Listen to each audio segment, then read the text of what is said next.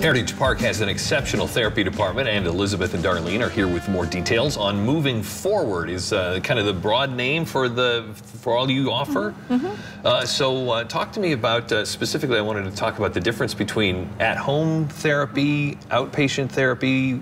Speak okay. to that. Um, sometimes when people have been in the hospital, they may go home with some home health care therapy services.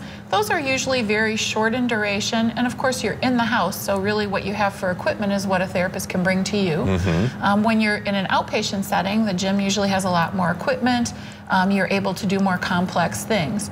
It has its kind of place in the continuum. Sometimes home care is the best because maybe you really aren't in a condition to be out and about every day. Sure. So uh, the therapies that you offer at uh, Heritage Park it would be what, ranging we, from what to what? We offer physical therapy, occupational therapy, and speech therapy. Uh, physical therapy, I think everybody's most familiar with. Mm -hmm. That's really where we're working on balance and strength, and maybe someone has pain um, maybe working on their walking if they've had surgery or something. Occupational therapy, a lot of times people say, I, am retired, why would I need occupational therapy? Uh -huh. It's kind of a misnamed thing, I think. Um, occupational therapy works a lot on people's ability to care for themselves, whether that's dressing themselves, bathing, maybe doing their own homemaking. You know, mm -hmm. maybe mm-hmm. they're having trouble getting around well enough to prepare a meal, do their laundry, that sort of thing. Um, and then speech therapy also has a bit of a broad scope. Speech therapy, a lot of times people are familiar with because if someone's having trouble swallowing, speech works mm. on exercises and, and techniques for that to help somebody safely consume their meal.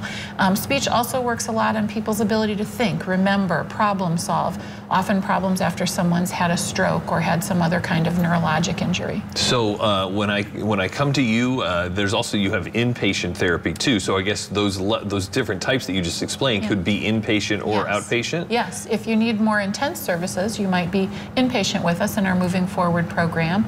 If you're kind of graduated from that level and maybe only need to have therapy two or three times a week, you might be an outpatient. Uh, I would imagine frequently you go from one to the other. You can, sure. Yeah. And sometimes people come just for outpatient too. They don't have to come through inpatient first. Is this something I discuss with my doctor? Is he ultimately telling me where I'm going or is this? Yes. Um, your doctor's a great resource because he knows you. So um, often though people will find themselves in the hospital and that's how they end up with our inpatient setting. Mm -hmm. But yes, your doctor often will make the referral for therapy therapy. We need some kind of a physician's order for therapy services. Okay. I uh, want to talk about uh, the five-star services that you guys, five-star rated, that you've been, uh, you know, continuing yes. to receive. That's fantastic. Yes, our five-star rating is something that we're very proud of. Uh, at Heritage Park, we offer the full continuum. We have independent living, assisted living, moving forward rehab, um, extended care services, uh, memory care, and respite care services on our campus. And that's uh, that's really, like you said, yes. that's the full service. Yes, we're able to meet every need. Mm -hmm. If someone wants to find out about your facility, how simple is that? They're welcome to stop by for a tour. Uh, we have someone available all the time to give tours.